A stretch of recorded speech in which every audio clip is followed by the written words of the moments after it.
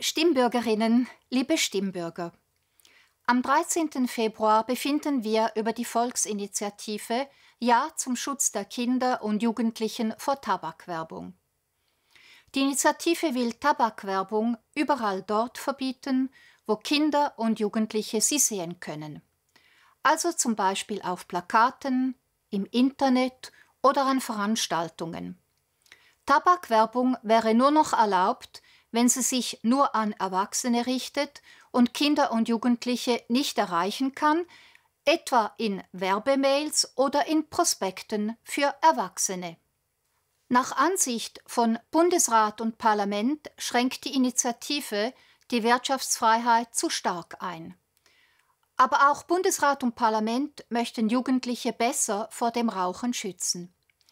Der Jugendschutz ist wichtig, weil die Mehrheit der Raucherinnen und Raucher vor 18 mit dem Rauchen beginnt. Bereits heute ist die Werbung in Radio und Fernsehen verboten. Ebenso Werbung, die sich gezielt an Jugendliche richtet. Um den Jugendschutz zu stärken, haben Bundesrat und Parlament einen indirekten Gegenvorschlag beschlossen. Im Unterschied zur Initiative erlaubt der Gegenvorschlag weiterhin Werbung für Tabakprodukte an Kiosken, in Zeitungen und im Internet sowie das Sponsoring von nationalen Veranstaltungen. Schweizweit verboten wäre Tabakwerbung aber auf Plakaten, in Kinos, auf Sportplätzen, an öffentlichen Gebäuden sowie in Zug, Tram und Bus. Die gleichen Regeln gelten auch für E-Zigaretten. Die Kantone dürften weiterhin strengere Regeln erlassen.